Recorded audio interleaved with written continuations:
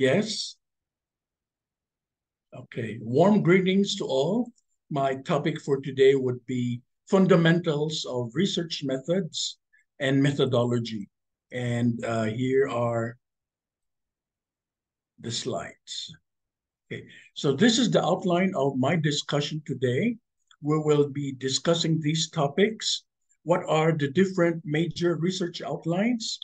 How do we select topic for our research? And what is the statement of the problem? How do we identify research gaps? And how do we formulate purpose, research questions, and research objectives? And what are the different types of research design? And what are the different uh, data collection methods? And uh, what are the differences between data analysis and data interpretation? And I will end with validity and reliability. So these are the major topics for my presentation on methodologies and methods. And uh, note uh, of caution, vocabulary varies depending on the authors we read, and each author presents one term and means differently.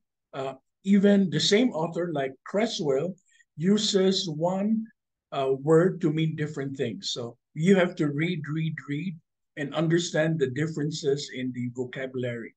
So what are the two major research outlines? The major uh, one is what we call as the standard academic outline. So it has chapter one, basically is introduction.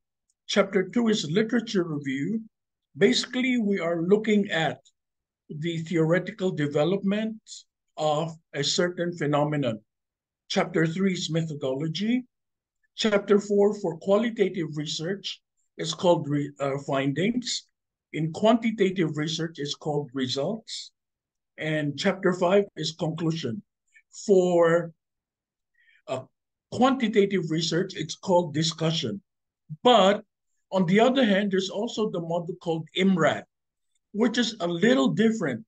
Uh, the reason for which is the professional fields like medicine, uh, nursing, public health, they don't really care much about the theory. They care about the current uh, findings in the laboratory.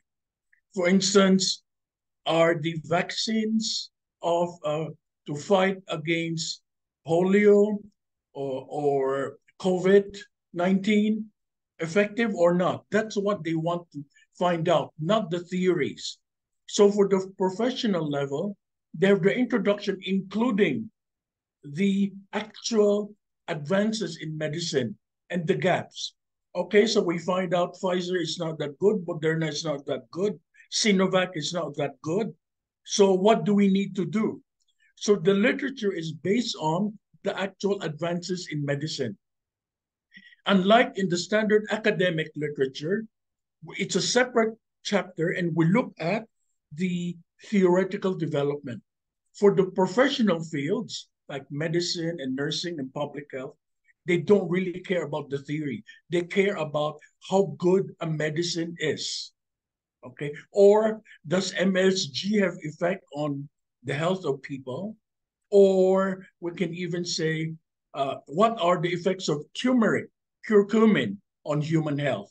So they're looking at uh, the, the actual testing of whether a given natural herb is effective or not to help with human health.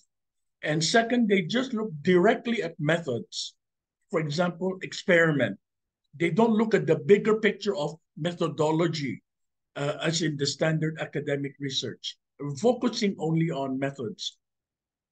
And then results, because it's mostly quantitative, and discussion, because it's mostly quantitative uh, in the professional fields. But then, uh, how do we choose? Which model should you use? Well, it depends on the university. For example, your university says you should use IMRAD, then you should use IMRAD. If your university says no, you should use the standard academic outline, then you follow the standard academic outline. So that's the uh, the difference